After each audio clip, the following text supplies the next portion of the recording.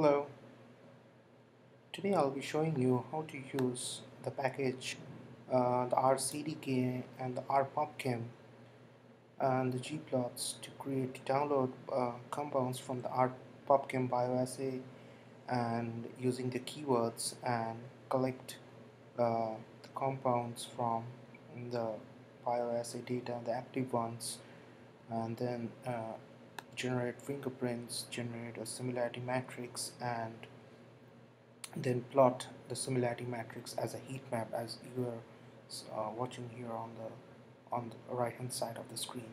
To do uh, to do it, uh, first of all, you need the libraries RCDK, the gplots, and RPubchem.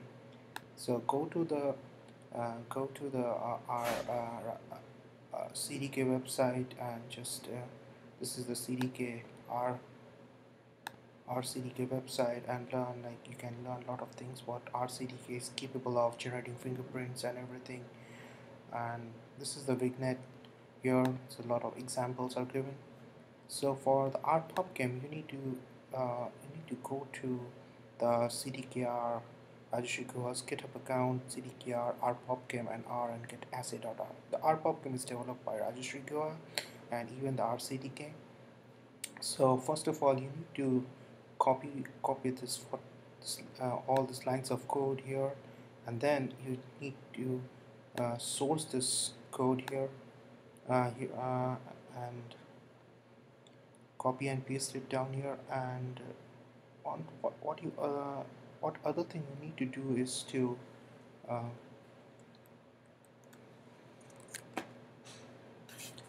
yeah so here you'll find canonical smile in the main package you need to convert the canonical smile to canonical smiles because the header to get all the uh, when you use the get CID it will uh, the header is canonical smiles. So you need to change the canonical smile to canonical smiles and then just source it here.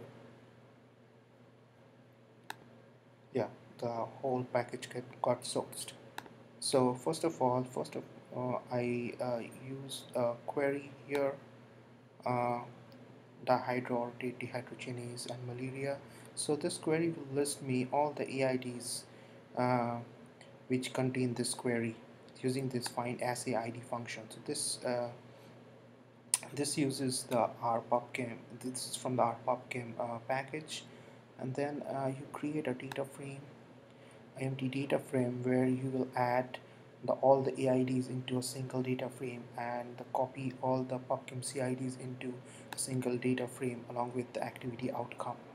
So uh, I used 1 to 50 and since it list uh, you can see here I listed almost 9 so it listed around 99 AIDs but uh, for uh, but I want just the top 50 AIDs so I, I set a loop and then give uh, for each uh, AIDs I just collect the CID and the activity outcome uh, of this assay. Then I bind the data, row bind the data and get the final uh, data frame in the data. So then I filter the uh, filter the compounds uh, which shows only the activity outcome as active here. Then collect those uh, CIDs and then using the get CID function I collect smiles uh, from the PubChem uh, API. So after getting all the active CA active compounds then uh, you can see here I run the command here and when I do a head of head active CMP which lists the six compounds it shows the CID, IUPAC name, canonical smiles and molecular formula and everything all these properties also uh, for this you also uh, now uh, using the R CDK we need to parse the smiles. So I parse the smiles using the third uh, column. So active C CMP is the uh, the active compounds and I just parse the smiles here. Then uh, for the fingerprints I created a vector cmp.fp and so uh, just create a vector of cmp.fp or something else you, you, you can should be a list and then just run it. And then you have to generate the fingerprints for uh, for all the active smiles. So I use MACCS keys. You can use extended uh, which is uh, 1024 with a depth of 6 you can see it on the RCDK manual. And once I run it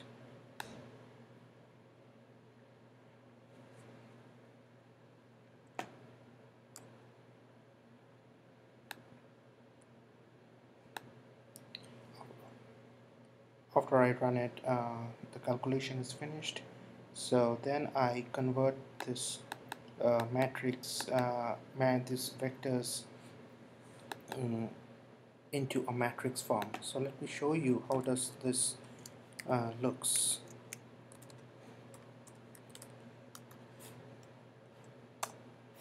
So it contains the smiles and the length and whether it is folded the source and the bits which uh, which is which is on uh, uh, which, which, is set as on in the extended uh, type of uh, fingerprints. So to convert it to a matrix form uh, and then calculate the similarity. You have to use the fp.sim.matrix function it will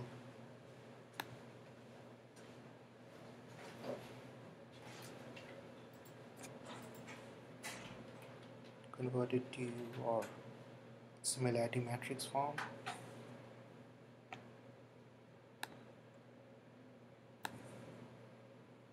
when this is done then you collect the data for distance uh, using 1 minus fp.sim uh,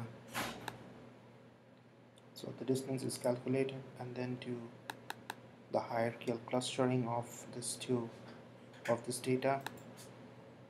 So this is a base function and just you just need to call each cluster on the on the on the data set. So remember like after calculating the fp disk you have to set it as distance. H hclust uh, accepts and the distance uh, for a class of files. So just as does dist you just put it uh, into the hclust function. And there's various methods of uh, a hybrid clustering. I'm using the single for method. So after the hclust is done then call the heatmap.2 function so I'll remove this image and heatmap.2 it will generate you the image uh, along with the hierarchical pattern on the on the height and on both the sides of this of this image so see uh, the color key is also given and I'll most mostly I'll provide you the code online and it's just very like some few lines of code around 10 or 12 and you can see the distribution of the similarity uh, scores uh,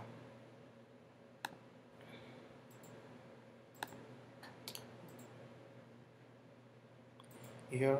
So mostly it's like above uh, 0.6 and shows that mostly the compounds uh, in the data set uh, active sets which targets the TH or DH are very similar or in the biases they are very, pretty much similar. Uh, you can study very large bioassays but to generate the heat maps of large it uh, takes a lot of uh, CPU time and uh, memory also so I would suggest you if you have around uh, 500 or so compounds or maybe not more than 500 you can use this to to, uh, to see the distribution of the compound similarities as a heat map image. There are many other ways to generate the heat map. Uh, you can use ggplot and uh, you can use uh, the heat map library and all. But but this is it's up to you what you want to use. Uh, I hope you enjoyed this uh, uh, this video. Thank you